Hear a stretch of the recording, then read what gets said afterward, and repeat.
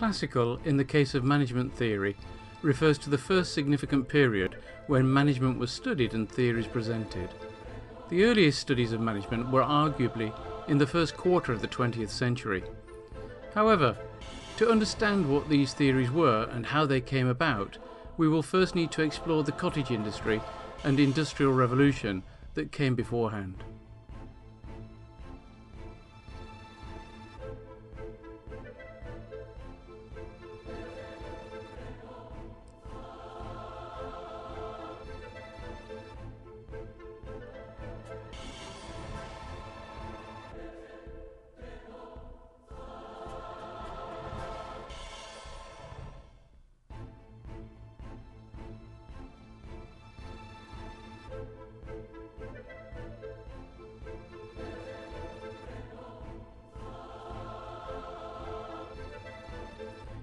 In a classic cottage industry, a farm would sell the cotton, linen, or wool to many other cottages, who would then spin it into yarn, use a loom to create fabric out of the yarn, then cut and sew the fabric into clothing.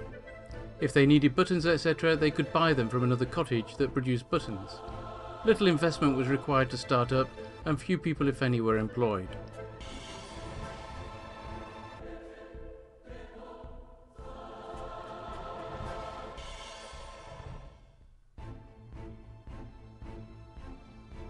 The Industrial Revolution, which started in Great Britain, marked a major turning point in history and the demise of the cottage industry. The period witnessed a number of technological innovations and the introduction of new manufacturing processes, from hand production methods to machines. From a business perspective, a key introduction during this period was the factory to produce goods. This was dependent upon labour for operation and the workers did not own a significant share or often any of the enterprise. They were paid daily wages. Breaking production down into stages and using machines, factories were less reliant on skilled artisans, utilising unskilled labour instead. Workers and machines were brought together in a central factory complex, specially designed to handle the machinery and flow of materials. Components were made to standard specifications.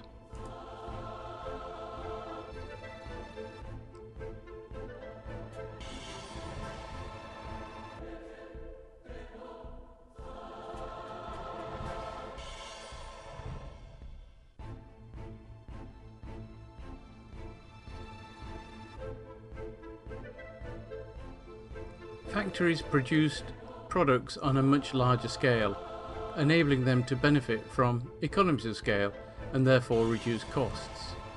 18th century factories produced cotton, silk and textiles, iron, brass, cement, glass, paper and various chemicals etc.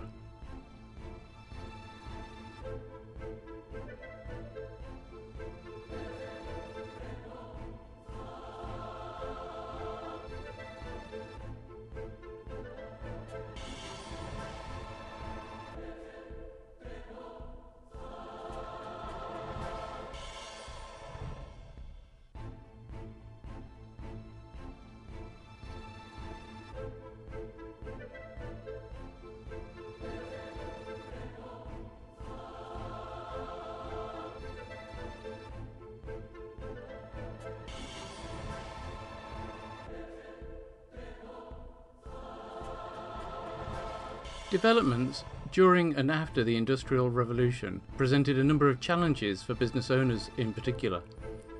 The new, larger and more complex organisations would need managing. They had to find ways to reduce costs and improve the efficiency of their business.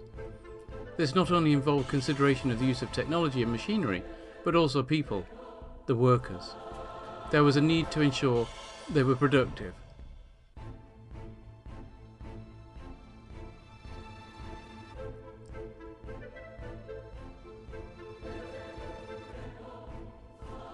Like the positive scientists before them, during the classical period, business owners, practicing managers and business academics or social scientists searched for principles, that's laws of management, and the best way to administer and run their organisations. Three prominent contributors to classical management theory were Henry Fayol, Frederick Taylor, and Max Weber. Despite writing around the same time, each of the three men approached their understanding of management from different perspectives. Henry Fayol published his major work on management in 1916. He outlined key management activities. He stated that to manage is to forecast and plan, to organise, to command, to coordinate and to control. He also listed 14 principles of management. Fayol was arguably the first to achieve a genuine theory of management. Frederick Taylor was also one of the early practical manager theorists from a similar period. He focused on the problems of achieving greater efficiency on the shop floor. Experience both as a worker and as a manager had convinced him that few, if any, workers place more than the minimal effort in their daily work. Weber was an academic and sociologist, not a practicing manager. His interest in organisations was from the point of view of their authority structures. It was in his publications that the term bureaucracy was used to describe a rational form of organisation. Bureaucracy is an organisational form with certain dominant characteristics such as hierarchy of authority, a system of rules, and the specialisation of work.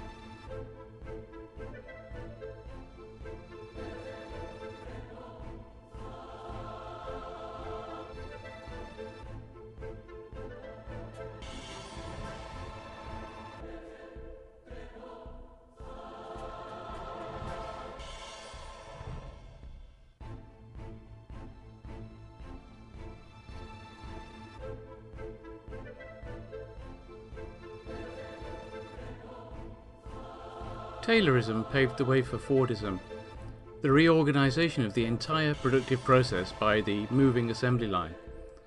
Fordism is associated with the manufacture of standardised, low-cost goods in huge volumes, which could be afforded by customers as well as the workers who built them.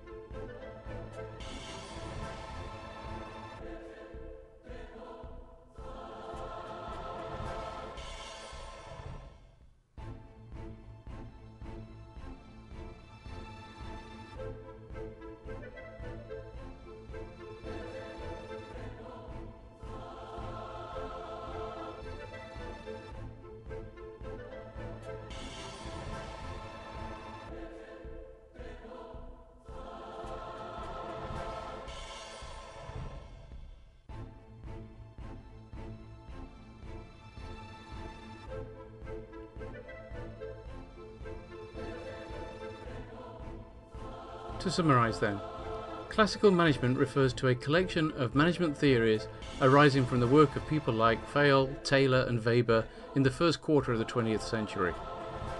Such theories were driven by challenges arising from the Industrial Revolution, which brought new ways of working. Throughout the first half of the 20th century, various scholars developed and added to this body of knowledge. However, it's important to recognise that the classical school essentially pursued a set of management laws and one best way to manage. Their focus was more directed at work and efficiency rather than the worker.